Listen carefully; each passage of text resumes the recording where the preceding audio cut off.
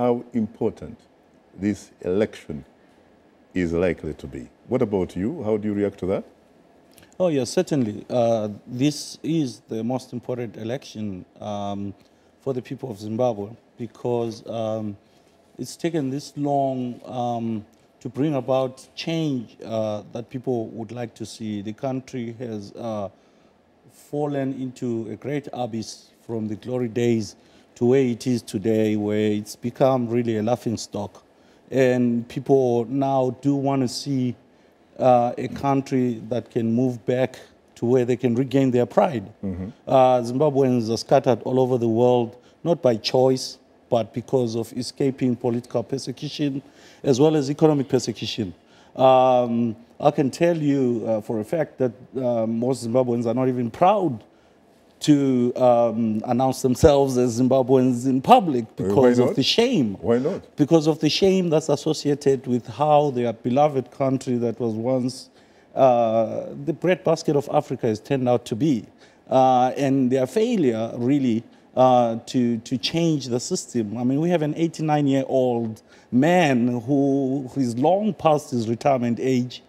And surely does that mean that we don't have other capable Zimbabweans who can move the country forward? That's the question that the people are asking themselves. And with that, they feel shame that uh, they can't come up with a credible candidate to take the country forward. But then surely there must be significant differences between a country and the government of the day. Because the last time I checked, uh, uh, there is a great American author and icon, Mark Twain, who once said, uh, patriotism is about supporting your country all the time and supporting your government when it deserves it.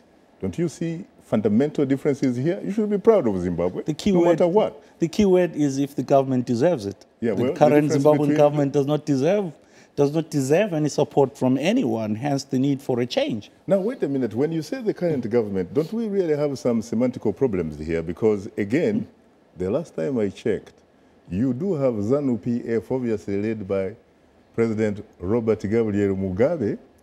But guess what? He works with, he works with Morgan Tsvangirai of the MDC. Isn't this, are these not two parties, don't these two parties, including the other smaller party, which actually form what we call a government as we speak today? This is a forced marriage. It was a marriage of convenience. There is no joy in that government. As, as uh, my colleague alluded here, it's been dysfunctional for but four a, years. But a marriage nonetheless, really, uh, if in fact there are some accomplishments, I'm sure you'll be very glad to take some credit.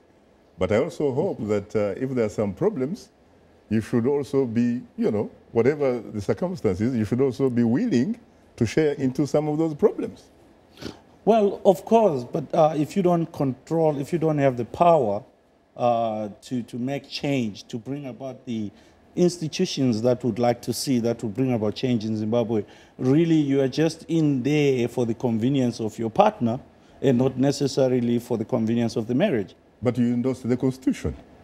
Yes, the new constitution, uh, I must say, is, is a uh, well-written document that represents the views of the people because it, they went out uh, they had constitution outreaches where they went out to the people and asked what the people wanted to see in their new constitution. I must say that uh, it's not everything that the people wanted that's in that constitution, but nonetheless, half a loaf is better than nothing.